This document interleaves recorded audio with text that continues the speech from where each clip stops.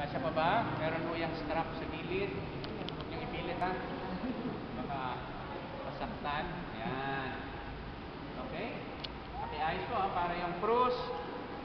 Very prominent. Nasa may dibdib. Nasa may uh, puso. At siyang dahilan kung bakit tayo malinis at tayo uh, naligtas. Kailangan panatilihin po natin ang kalinisang ito sa pamamagitan ng liwanag. Ilabas po ngayon yung mga kandila. Siyempre po, yung malaking kandila dapat kay nanay ha. Nasaan yung malaki na white? Nandun din po sa kasama ng ano. Noong uh, uh, damit. Ayan. Sige.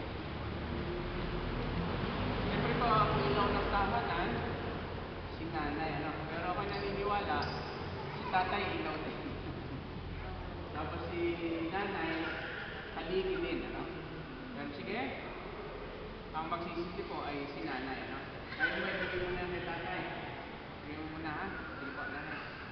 Tanggapin ninyo ang ilaw na ito. Ang ilaw na ito ay tanda ng liwanag ni Kristo na tinanggap sa binyag. Naway mag-alam ito sa inyong puso at diwa hanggang sa pagbabalik ni Kristo ating Panginoon.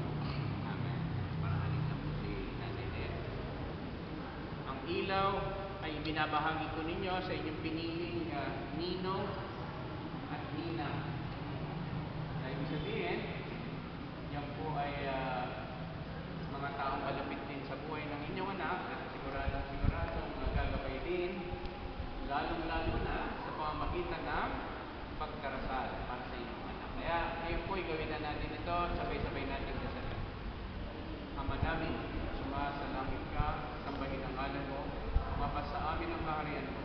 Sundin ang loob mo dito sa lupa para nang sa langit. Bigyan mo kami ngayon namin kakanin sa araw-araw. Patawarin mo kami sa aming mga sala para ng pagpapatawad namin sa nagkakasala sa amin. Huwag mo kaming kaitulog sa pagsasabihan mo kami sa lahat.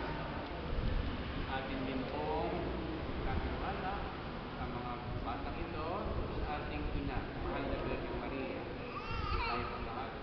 Kabagin ng Maria, napupuno ka ng grasya. Ang Panginoong Diyos ay sumasayo. Huwag kang pinagpala sa upang lahat. Pinagpala naman ay anak ng Diyos. Santa Maria, Ina ng Diyos, panalangin mo kaming makasalanan. Hindi natin kami mamatay. Sumayin niyo ang Panginoon. Magpalain kayo ang dalawang batang ito, si Hailey at si Lorraine.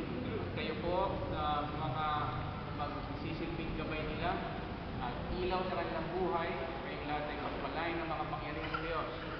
Ang ng Ama at ng Anak at ng Espiritu Santo.